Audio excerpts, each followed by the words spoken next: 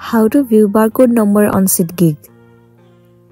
The very first thing you want to make sure that the application SeatGeek is installed on a device. Once that's been installed, open it.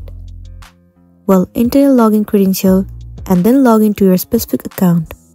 Once you have been logged in, it will land you on this home page. Now head towards the ticket icon at the bottom. It will show you the tickets that you're gonna purchase.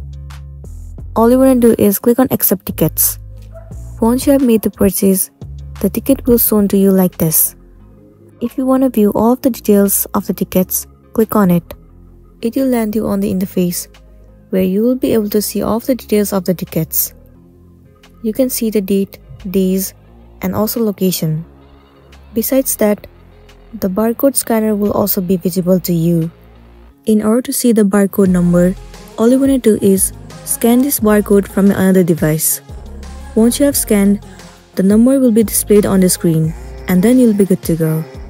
So that's it and this is simply how you can see the barcode number on SeatGeek. I really hope this video is going to be helpful for you. If it does, please make sure to like and subscribe to our channel. And thank you for watching it till the end.